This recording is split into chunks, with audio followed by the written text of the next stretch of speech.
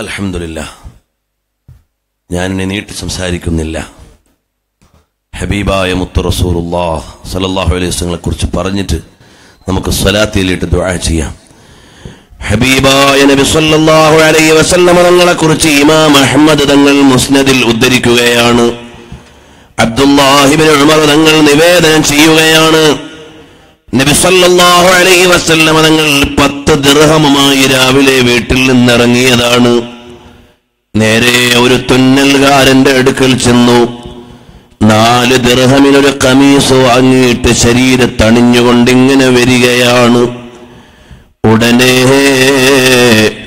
ഒരൻസ്വാരിയായ മനുഷ്യൻ പറയുകയാണ്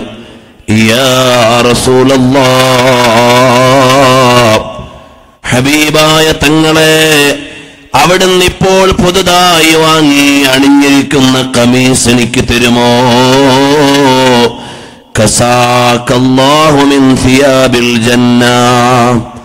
അള്ളാഹു സ്വർഗീയ വസ്ത്രം തങ്ങൾ കണീച്ചു തരട്ടെ. ആരോടാണ് പറയുന്നത്? സ്വർഗം ഉദ്ഘാടനം ചെയ്യുന്ന മുത്തുനിബിതങ്ങളോട്.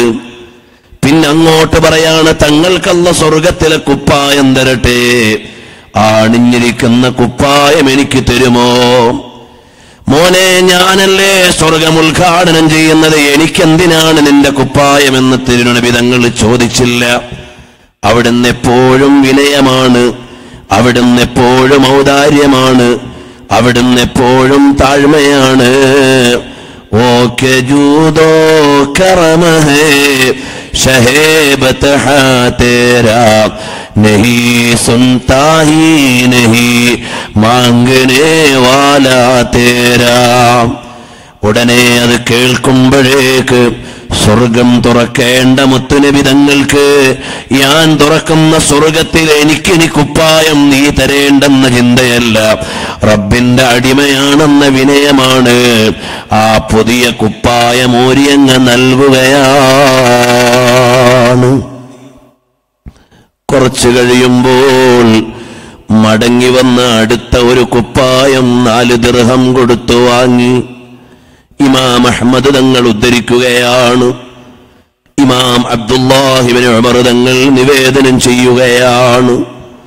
നാല് ദർഹമിന് കുപ്പായം വാങ്ങി ഇങ്ങനെ പോകുമ്പോഴാണ് ഒരു പെൺകുട്ടി നിന്നുകൊണ്ട് കരയുന്നു. മുത്തുനബി സല്ലാഹു അലൈ വസല്ലമ തങ്ങൾ ചോദിച്ചു എന്തിനാ മോളെ കരയുന്നത്? ഓ തങ്ങളെ ഞാനൊരു വീട്ടിലെ വേലക്കാരിയാണ്. വീട്ടുകാരന്റെ കയ്യിൽ തന്ന രണ്ട് ദിർഹമുണ്ട്. അത് ഗോതമ്പിന്റെ മാവ് വാങ്ങാൻ തന്നു വിട്ടതാണ്. ഗോതമ്പത്തിന്റെ പൊടി വാങ്ങാൻ തന്നു വിട്ടതാണ്. എന്റെ കയ്യിൽ നിന്ന് വീണുപോയി. അതുകൊണ്ട് കരയുകയാണ്. കാരുണ്യത്തിന്റെ കേദാരമായ മുത്തുനബിതങ്ങൾ ആ രണ്ട് ദരഹമെടുത്ത് ആ കുട്ടിക്ക് നൽകുകയാണ്. കുറച്ചു കഴിഞ്ഞു നോക്കിയപ്പോ വീണ്ടും ആ കുട്ടി കരയുകയാണ്. എന്തിനാണ് മോളെ കരയുന്നത്?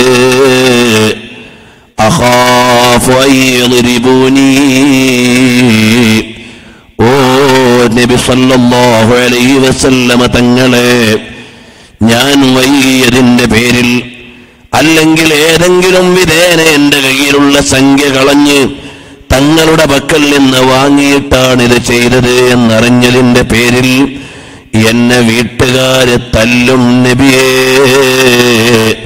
അതോർത്ത് കരയുകയാണ്. ഇവിടെ ഒരു കാര്യം നിങ്ങൾ അറിയണം ഇരുപത്തിമൂന്ന് രാഷ്ട്രീയ സാമ്രാജ്യങ്ങളുടെയും ഒരു ആത്മീയ സാമ്രാജ്യത്തിന്റെയും നായകരായ മുത്തുനബി തങ്ങളെ നേരിട്ട് വന്നൊരു പൗരന് പരാതി പറയാൻ പ്രോട്ടോകോൾ തടസ്സമാകുന്നില്ല. എന്തെങ്കിലും മാർഗ തടസ്സങ്ങളില്ല എന്തെങ്കിലും പ്രതിസന്ധികളില്ല. എത്ര വിനയമുള്ള ജീവിതമാണ്. എല്ലാവരും എഴുന്നേറ്റ് അടുത്തേക്ക് വരുമോ? കരളിന്റെ കാതലായ എല്ലാം എല്ലാമായ അഷ്റഫുൽ صلى സല്ലല്ലാഹു അലൈഹി وآله وأصحابه വസല്ലമ തങ്ങൾ ഈ മോളോട് ചോദിച്ചു എന്തിനാണ് ഇനിയും കരയുന്നത്? ഒരടിമ പെൺകുട്ടിക്ക് വേദന പറയാൻ കംപ്ലൈന്റ് പറയാൻ തടസ്സമില്ല. ആ നേതാവായ തങ്ങൾ ആ പൊന്നമോളുടെ സങ്കടം ഏറ്റുവാങ്ങുകയാണ്. കൂടെ നടക്കുന്നു. എവിടേക്കാണ് നടക്കുന്നത്? ആടിമ പെൺകുട്ടി വേല ചെയ്യുന്ന വീട്ടിലേക്ക് നടക്കുകയാണ്.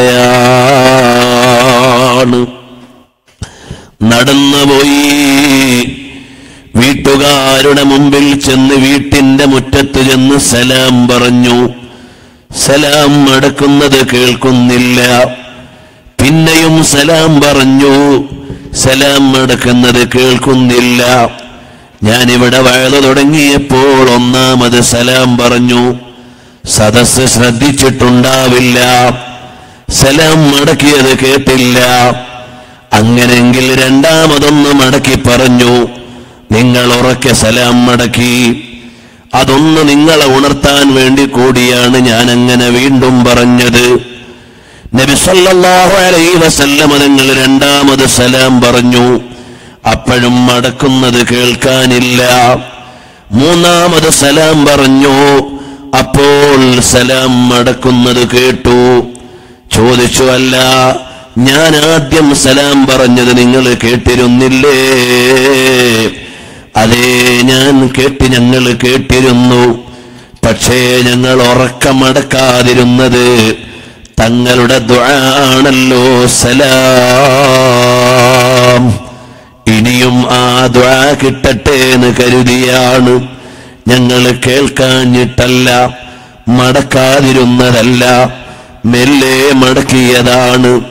തങ്ങളുടെ സലാം ദ്വാ ആണ്. അതിങ്ങനെ കിട്ടാൻ വേണ്ടിയാണ്. വീണ്ടും വീണ്ടും ലഭിക്കാനാണ് ഞങ്ങൾ അങ്ങനെ മൂന്ന് വരെ വെയിറ്റ് ചെയ്തത്. അതേ. വീട്ടുകാര് ചോദിച്ചു എന്തിനാണ് തങ്ങളെ അവിടുന്ന് ഇങ്ങനെ നടന്ന് ഞങ്ങളുടെ വീട്ടിലേക്ക് വന്നത്? അവിടുന്ന് പറയുകയാണ് നിങ്ങൾ ഈ മോളെ അടിക്കല്ലേ എന്ന് പറയാൻ വന്നതാണ്. ആരാണ് ലോകത്തിന്റെ നേതാവായ മുത്തുനബി സ്വല്ലാഹു അലൈഹി വസല്ലമ തങ്ങൾ ഒരടിമ പെൺകുട്ടിയെ അടിക്കരുതേന്ന് പറയാൻ അവൾ വേല ചെയ്യുന്ന വീട്ടിലേക്ക് നടന്നു പോവുകയാണ്. വീട്ടുകാരോട് ശിപാർശ ചെയ്യുകയാണ്.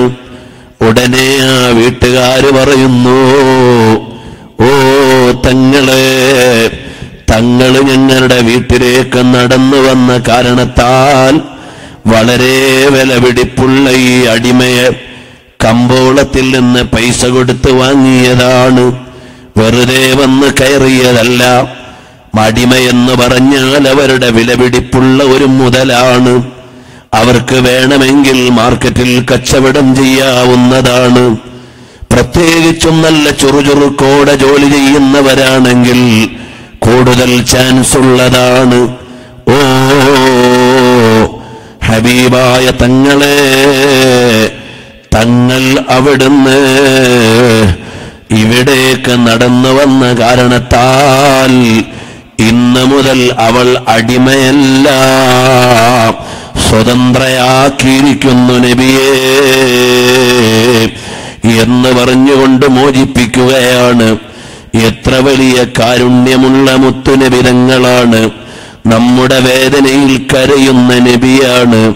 അതുകൊണ്ട് ഈ സദസ്സിനോട് ആ റഹീമായ റഊഫായ മുത്തൊളി റസൂലുള്ളാ സല്ലല്ലാഹു അലൈഹി തങ്ങളെ അതാ പറഞ്ഞുകൊണ്ട് ഞാൻ എന്നോടും നിങ്ങളോടും പറയട്ടെ നല്ല തക്കവയോടെ ജീവിക്കണേ. ഒരു വക്കത്ത് നിസ്കാരവും കലാക്കല്ലേ. ഹബീബായ തങ്ങളെ കനവിൽ ഒന്ന് കാണണ്ടേ? എന്ത് രസമുള്ള നേതാവാണ്.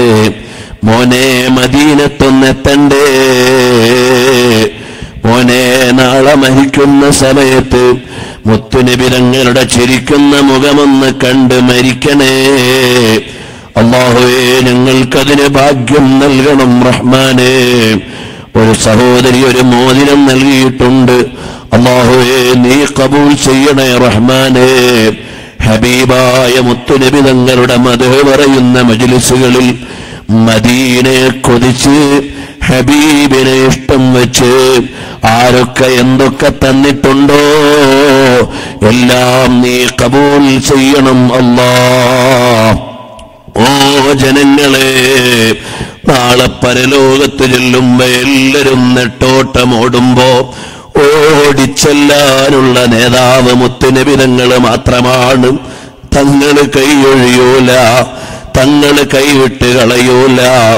അവിടെ ഒരു പ്രതീക്ഷയല്ലാതെ വേറെ ഒരു പ്രതീക്ഷയും ഇല്ല ഹൗലങ്ങൾ കാത്തു നിൽക്കാമെന്ന് പറഞ്ഞ മുത്തുനബിരങ്ങളാണ് അതാ മീസാനിന്റെ അടുക്കൽ നമ്മുടെ അമൽ തൂക്കുമ്പോൾ നോക്കിക്കൊണ്ട് നമുക്ക് ഷഫാത്ത് ചെയ്യാനുള്ള മുത്തുനബിരങ്ങളാണ് സിറാത്തിലേക്ക് കാലെടുത്ത് വെക്കുമ്പോ അള്ളാഹും എന്ന് പറയാനുള്ള നേതാവാണ് ഹബീബായ തങ്ങളെ ഉള്ളറിഞ്ഞ് ഇഷ്ടം വെക്കണമെന്ന് മുത്തുനബിതങ്ങൾക്ക് ഇഷ്ടമില്ലാത്ത കാഴ്ചകൾ ഒഴിവാക്കി കേൾവികൾ ഒഴിവാക്കി നടപടികൾ ഒഴിവാക്കി തക്കവയോടെ ജീവിച്ച് നന്നായി സ്വലാത്ത് ചൊല്ലിയിട്ട് ജീവിച്ചാൽ നിത്യം സ്വലാത്ത് ചൊല്ലി ചൊല്ലി ചൊല്ലി മദീനത്തേക്ക് ചെല്ലാൻ ഒരവസരം കിട്ടിയിട്ട് മദീനയുടെ മൈലുകൾ അടുത്തെത്തുന്ന നേരം മൈബി അമ്മിയാലിമ്മിനൽ മദീന. മദീനയുടെ മൈലുകൾ അടുത്തെത്തുമ്പോൾ മലക്കുകൾ ചെന്നിട്ട് പറയും ആരോട്? ഹബീബായ മുത്തൊളിരങ്ങളോട് ചെന്നിട്ട് പറയും ഓ നബിയേ കുറ്റ്യാടിയിൽ നിന്ന് സാധാരണ സ്വലാത്ത് ചൊല്ലുന്ന അബൂബക്കർ വരുന്നുണ്ട്. നാദാപുരത്ത് നിന്ന് സ്വലാത്ത് ചൊല്ലുന്ന ഇഷ വരുന്നുണ്ട്. അതാ ഇതുപോലെ ഓരോരുത്തരുടെ പേര് പറഞ്ഞിട്ട് ഇന്നയാൾ വരുന്നുണ്ട് നബിയേ. എന്ന് മലക്കുകൾ ചെന്ന് പറയുമ്പോ മുത്തുനബിതങ്ങൾ പറയും ഞാൻ ഇവിടെ ഹുജാബുൽ മദീനയുടെ പ്രോട്ടോകോളിലാണ് അതുകൊണ്ട് നിങ്ങൾ പൊയ്ക്കോ. എന്റെ പ്രതിനിധികളായി നിങ്ങൾ പോയിട്ട് ആ വരുന്ന ആളെ സ്വീകരിക്കണം സ്വീകരിച്ചു കൊണ്ടുവരണം. എന്നിട്ട് ഹബീബായ തങ്ങൾ പറയും എന്റെ പ്രതിനിധികളായി വാഹനത്തിൽ വരുന്നവരെ മുസാഫഹ ചെയ്- ചെയ്ത് മദീനയിലേക്ക് സ്വീകരിക്കണം. നടന്നു വരുന്നവരാണെങ്കിൽ ആണിക്കുൽ മിഷാദ്.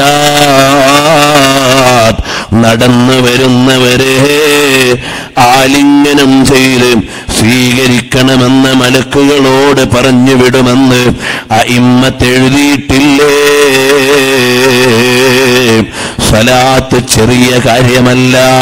അതുകൊണ്ട് നന്നായി സ്വലാത്ത് ചെല്ലണം ലക്ഷക്കണക്കിന് സ്വലാത്ത് ചെല്ലണം ഉമ്മമാരെ ദായിമാക്കണം. മക്കളെ കൊണ്ട് ചൊല്ലാൻ പഠിപ്പിക്കണം. ചെറുപ്പക്കാരെ കിട്ടുന്ന സമയം മുഴുവനും സ്വലാത്ത് ചെല്ലണം ദലായിലുൽ ഹൈറാത്ത് പതിവാക്കുന്ന നല്ല ചെറുപ്പക്കാരുണ്ട്. അത് വലിയ പുണ്യപ്പെട്ട സ്വലാത്താണ്. സ്വലാത്തുൽ ഫാത്തിഹ പതിവാക്കുന്നവരുണ്ട്. വലിയ മഹത്വമുള്ള സ്വലാത്താണ്. സ്വലാത്തുൻ നാരിയ പതിവാക്കുന്നവരുണ്ട് വളരെ പവറുള്ള സ്വലാത്താണ്. അങ്ങനെ ഏത് സ്വലാത്തായാലും ഹബീബായ മുത്തുനബിതങ്ങളുടെ പേരിൽ സ്വലാത്തു മദീനയിലേക്ക് ഹബീബിലേക്ക് അടുക്കണേ എന്ന് എന്നോടും നിങ്ങളോടും ഓർമ്മപ്പെടുത്തി അമ്മാ